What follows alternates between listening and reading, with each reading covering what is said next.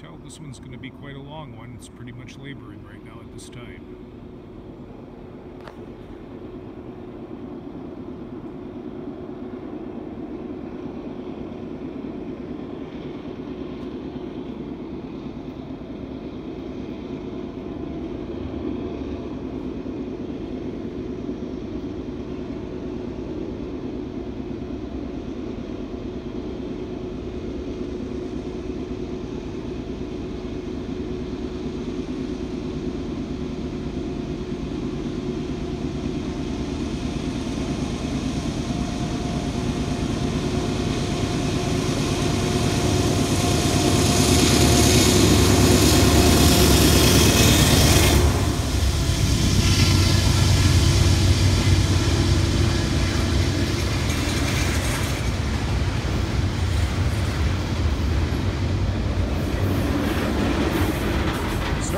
Up speed already, though.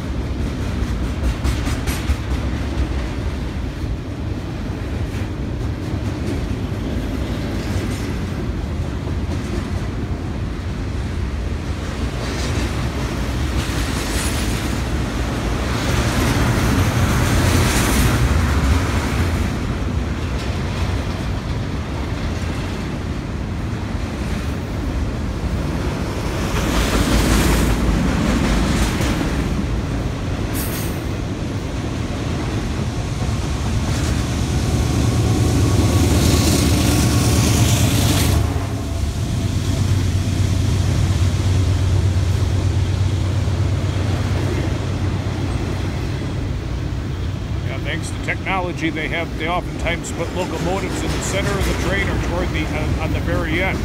That way, the engineer can control it from other from because it's remote control. So it's less stress on the couplings on the cars themselves.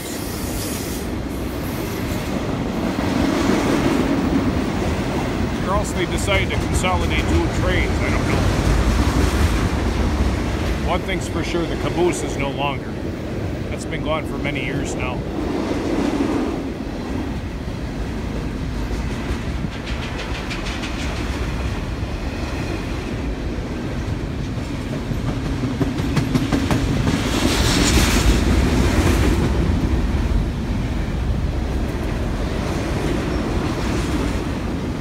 And that, my friends, is a wrap.